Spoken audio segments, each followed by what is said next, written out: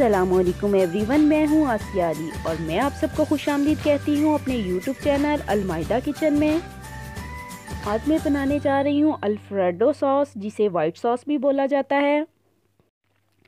ये Alfredo sauce आप white pasta में भी यूज़ कर सकते हैं और ये अल्फ्रेडो सॉस पिज़्ज़ा में भी यूज़ हो सकती है पिज़्ज़ा की सॉस के तौर पे।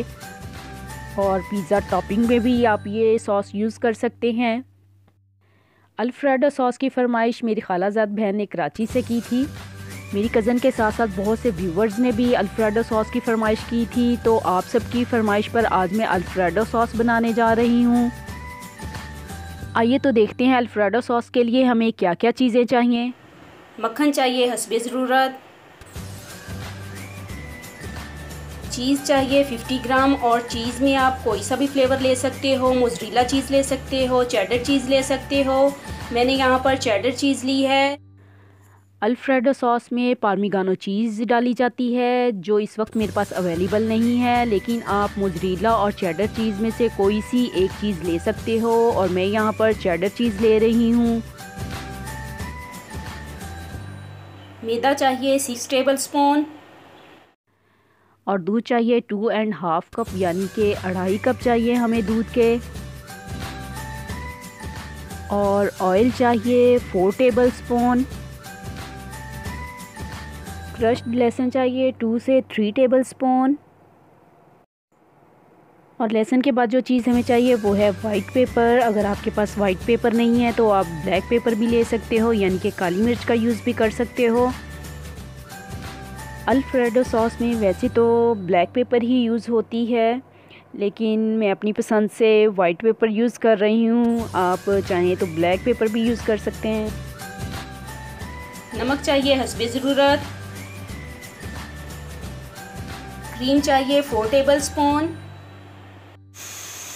यहाँ पर मैंने टू टेबल स्पून ऑयल ले लिया है। अब मैं इसमें मक्खन ऐड कर दूँगी।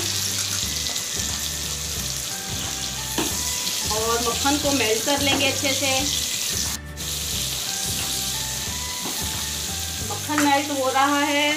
तब तक मैं इसमें लहसुन के जब्बे डाल के थोड़ा सा फ्राई कर लूँगी ताकि जो लहसुन की खुशबू है वो मक्खन में समा जाए या मक्खन की खुशबू लहसुन में समा जाए। बस इसको दो मिनट के लिए फ्राई करूँगी। ज़्यादा फ्राई नहीं करना, बिल्कुल ब्राउन नहीं करना, या डार्क ब्राउन नहीं। अब इसमें मैदा ऐड कर दूँगी और इसको मैदे को भून लेंगे।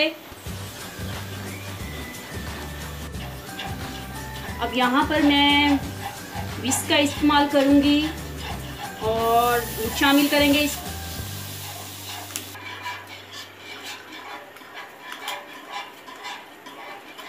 और यहाँ पे देखें, बिल्कुल समूदी सी हमारी जो सॉस है, बन चुकी है। और इसके लिए फिर मैं आपको बताऊँगी कि इसका आपने इस्तेमाल करना है। अगर आप चम्मच के साथ इसको मिलाओगे तो हो सकता है गुठलियाँ बन जाएँ। चीज़ ऐड कर दूँगी। और इसको मेल्ट कर लेंगे। और यहाँ पर चीज़ मेल्ट हो चुकी है। चीज़ के मेल्ट होते ही मैंने इसमें क्रीम वाइट पेपर और नमक ऐड कर दिया था और मिक्स कर लिया है अब इसको।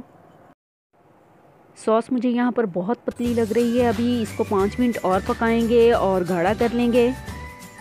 मिक्स करते करते मुझे फील हो रहा है कि सॉस थिक होना स्टार्ट हो चुकी है। जी तो यहाँ पर हमारी क्रीमी क्रीमी अल्फ्रेडो सॉस बिल्कुल रेडी हो चुकी है। आज की ये रेसिपी आपको कैसी लगी कमेंट में बताइएगा और इस वीडियो को शेयर कीजिएगा लाइक कीजिएगा। और जो लोग मेरे चैनल पर नए हैं, मैं उनसे ये कहना चाहूँगी कि वो जल्दी से मेरे चैनल को सब्सक्राइब कर दें और बेल आइकन के बटन को ऑल पर कर दें ताकि आने वाली तमाम वीडियोस के नोटिफिकेशन आप तक पहुँच सके और ऐसे आप मेरी तमाम वीडियोस देख सको। और इस आखिरी बात के साथ आप सबसे इजाज़त चाहूँगी कि आप जहाँ रहें, आबाद रहें, खुश रहें और मुझे अपनी दुआओं में लाजमी याद रखिएगा। इसी के साथ इजाज़त चाहती हूँ। टेक केयर एंड अल्लाह हाफिज़